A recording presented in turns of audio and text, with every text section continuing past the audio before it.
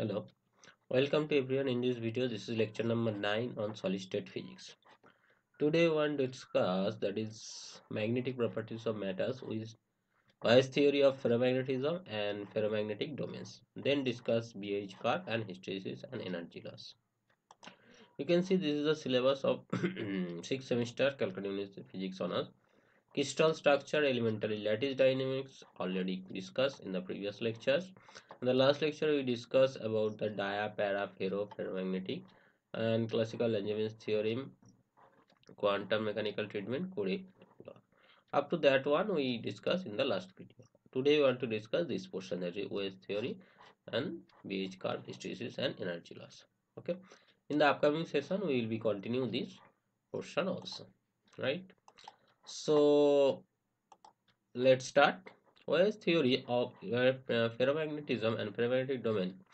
That is, what do you mean ferromagnetism? Actually, uh, when a material, if you suppose suppose this is a material, suppose sorry, there is a problem in connection. I try to solve this. Okay, I think this can be solved at this moment. There is interlink problem. Okay. Okay this is the problem. So try to write down here. Okay. So you can see that is uh, if you uh, a material within that material there is a dipole due to motion of electron so if these dipoles are permanent uh, dipoles within that uh, they are aligned such that there is a permanent magnetism within material without external field. This is the ferromagnet material, right? So there is a spontaneous magnetization within that one and after a uh, certain temperature that is called Curie temperature this magnetism is fall down because this uh, this thermal energy they uh, agitate these uh, dipoles in various direction. Uh, finally uh, got this. Uh, lost this spontaneous magnetization in this in material above the Curie temperature. And chi is large and positive uh, varies with temperature as well as the applied field. Okay uh, theory takes some assumptions like that. That is the ferromagnetic material contain a number of small region called domains. That is suppose you have a uh, ferromagnetic material. Within that material there is some domains like that. And within that domain there is dipoles aligned that one. Okay? Within dipoles these uh, dipoles are aligned in the same direction. This is called domain. Okay dipoles mean i think you clear up the previous lecture that is the motion of electron in circular path makes a current and which makes the magnetic field uh, looks like a dipole so these dipoles are aligned in the same direction within the domain. And spontaneous magnetization of each domain is due to presence of the exchange field that is B suffix E. This is called exchange field which tends to produce a parallel alignment of the atomic dipoles. So these uh, exchange field that is uh, suppose this is domain uh, and this is another domain. This uh, field of this domain uh, wants to align these dipoles along that direction. This is called exchange field.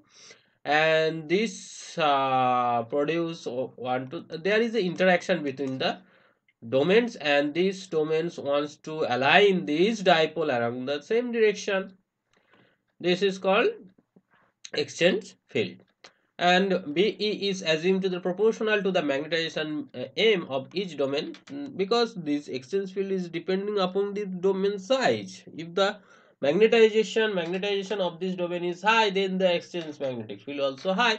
So this B is equal to lambda M and V is equal to strong. You can see this is the how much strong that is 1000 Tesla as compared to the applied field 1 Tesla when you apply the external field this is uh, 1 tesla but within that small region that is a small domain this um, field strength is very high. You can uh, see this is a thousand times high okay? So the effective magnetic field will be the sum of these two fields. Uh, suppose if you consider this domain there is a, another domain which correspond to that portion.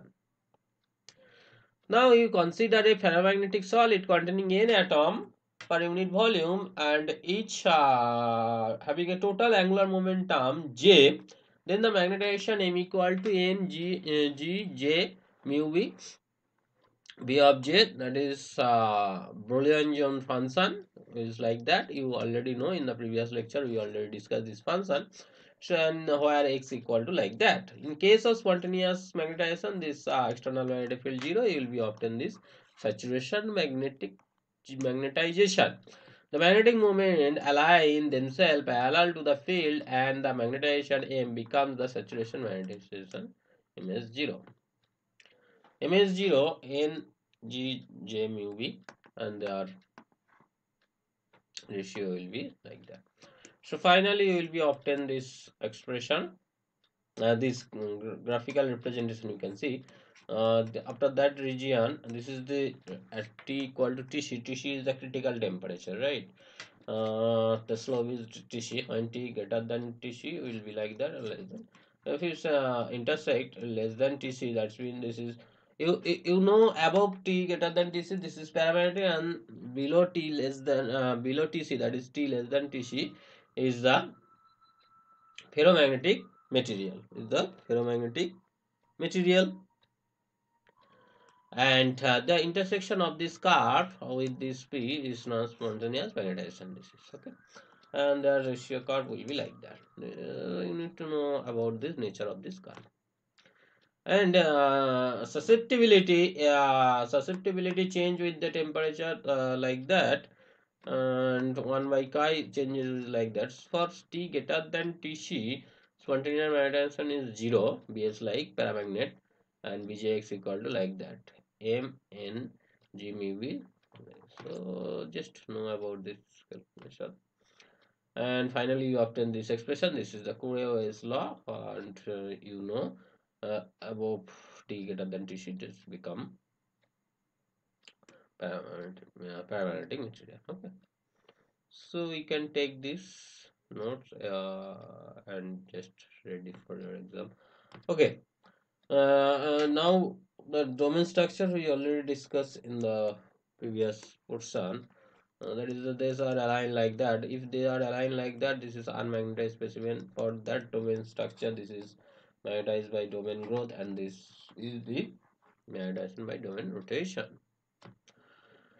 Hysteresis and energy loss. Uh, suppose you have a magnetic material and if you apply this uh, external magnetic field uh, uh upon this magnetic material, this is a magnetic material and if you apply, if you apply this uh, external magnetic field on this material, you have uh, you have a this like of nature. Suppose suppose at the applied magnetic field zero to, uh, total that is the net magnetization that uh, within this material is zero.